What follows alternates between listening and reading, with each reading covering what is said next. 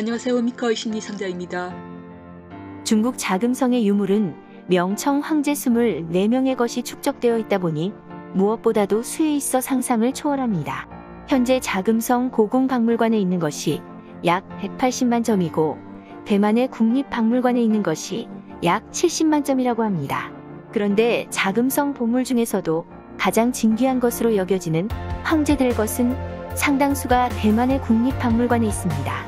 청나라 몰락 이후 본토의 보물이 어떻게 그런 식으로 나누어지게 되었을까요? 서태후는 살아생전 보물을 애지중지한 만큼이나 약탈에 주도 면밀하게 대비했습니다. 물론 그녀가 그렇게 한 것은 그것이 나라의 것이라기보다 자신의 것이라는 인식이 더 강했기 때문일지도 모릅니다. 서태후가 죽은 후 용유왕후는 그녀의 유품을 정리하도록 하인들을 저수궁의 서태후의 침실로 보냈고 그들은 우연히 그곳에서 비밀의 방으로 통하는 입구를 발견했습니다.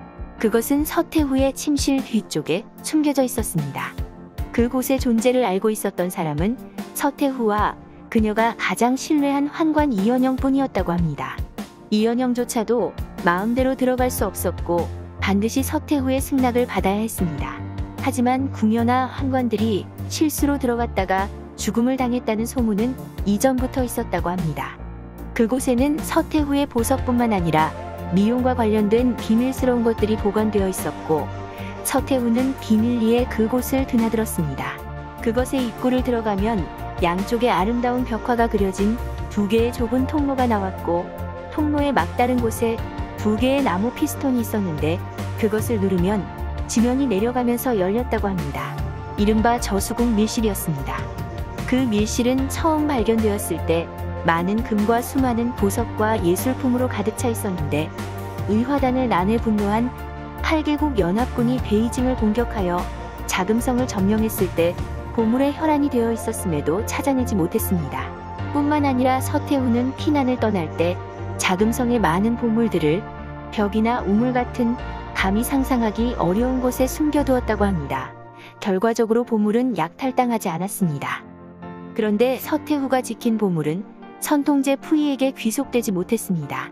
푸이는 1912년 신의 혁명으로 폐위되었고 세정부군과의 협정에 따라 재산권을 내놓고 자금성 한쪽에 거주하며 매년 황실 유지비를 받아야 했습니다. 폐위 조서에 따르면 황실 소유물은 중화민국에 귀속되었고 새 정부는 매년 황실에 은사백만 테이를 주기로 했습니다. 그런데 궁에는 여전히 많은 내시와 궁녀들이 있었고 이전의 화려한 황실 생활을 유지하려면 그것만으로 부족했습니다. 결국 부인은 자금성 보물을 은행에 저당 잡히고 돈을 빌리는 데 동의하게 되었고 걸륭제 때 만들어진 금종을 그런 목적으로 밀반출했습니다. 특히 그는 점점 황제라는 이름만 남은 자리가 얼마나 앞날을 보장받을 수 없는 자리인지 깨닫게 되면서 형제들이나 아버지를 통해 점점 고가의 보물들을 밀반출했습니다. 그의 동생 푸제에 따르면 처음에는 한두 작품이었지만 점차 양이 늘어 69개의 나무 상자 분량이 되었습니다. 주로 고서, 보석 장식물, 황실 인장, 서화첩같이 크기가 크지 않아 큰 의심을 사지 않고 반출할 수 있는 것들이었습니다. 후이는 자금성에서 추방되기 2년 전인 1922년에 자금성 보물에 대한 조사를 했습니다. 그가 찾아낸 것은 걸륭제 때 세워져 걸륭제가 가장 아끼던 유물들을 넣어놓은 건복궁이었습니다. 건복궁은 가경제가 봉인 조치를 해놓아 어떤 보물이 얼마나 있는지 아무도 알지 못했는데 열고 보니 온갖 진귀한 옥 작품, 도자기, 그림, 금불상 등 수많은 보석과 진귀한 유물들이 보관되어 있었습니다. 그런데 이듬해 1923년 6월에 그곳에 큰 화재가 났습니다. 화재는 빠르게 진압되지 않았고 결국 많은 그림과 고서와 조각상이 불에 탔습니다. 그런데 이 화재는 우연히 발생한 것이 아니라 보물을 훔친 환관들이 들킬까봐 고의적으로 저지른 것이라는 소문이 있었지만 정확히 밝혀지지는 않았습니다. 이듬해 1924년 중화민국 군벌인 펑위샹이 자금성에 와서 후이에게 수정된 황실 우대 조치를 알려주고 3시간 내에 자금성에서 나가라고 했고 후이는 자금성을 떠나야 했습니다. 추방되는 순간에도 푸이는 자신이 좋아하는 작품을 가지고 나가다가 검색 과정에서 발각되어 압수당했습니다. 그래도 그는 자금성에서 빼돌린 보물들이 상당히 있어 거주지나 또 다른 곳에 보관해 놓고 저당 잡히거나 팔아 호화로운 생활을 이어갔습니다. 1925년 중화민국 정부는 푸이가 보물을 빼돌린 것을 비난하며 자금성을 고공박물관으로 만들어 유물을 전시하겠다는 뜻을 발표했습니다. 그런데 이 계획은 1933년 일본 침략이라는 뜻하지 않은 위협을 받게 되었습니다. 그제서야 중화민국은 박물관 책임자와 전문 인력을 대거 자금성에 투입하여 보물에 대한 선별 작업을 했고 그것을 좀 더 안전한 남섭으로 옮기기로 결정했습니다. 그들은 엄선된 수많은 도자기, 옥 장식물, 서예, 회화, 청동, 진귀한 고서 등을 2만 개의 상자로 나누어 포장하여 야간에 군에 철저한 보호 아래 수송길에 올랐습니다. 물론 그 과정에서 약탈당할 뻔한 위기도 있었지만 보물 상자는 혼란한 북동부에서 멀리 떨어진 상하이에 무사히 도착했습니다. 1934년 12월 박물관 책임자는 중화민국 수도인 난징에 보물을 보관할 건물을 짓기 시작했습니다. 1936년에 건물이 완성되었고 보물 상자는 상하이에서 난징으로 옮겨지기 시작했습니다. 그러나 일본군이 상하이 점령에 이어 난징으로 진격해 들어오는 바람에 보물 상자는 다시 8년간 동굴이나 사원, 심지어 개인 주택에 숨겨져 있었습니다.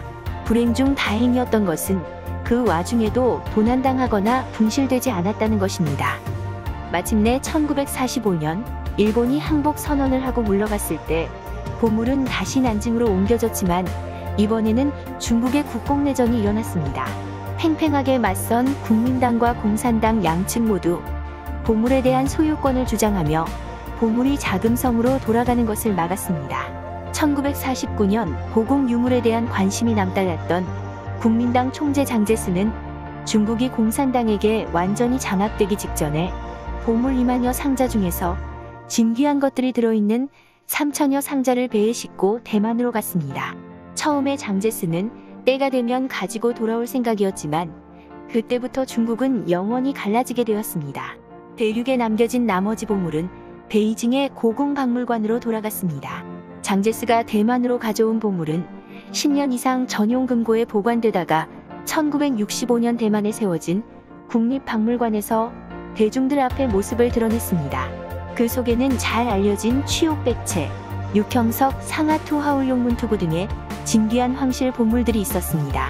취옥백체는 흰빛과 초록빛이 혼합된 하급옥을 자연스럽게 이용하여 배추 모양으로 조각한 작품으로 광서제의 아내 중 하나가 결혼할 때 가져온 예물이라고 합니다.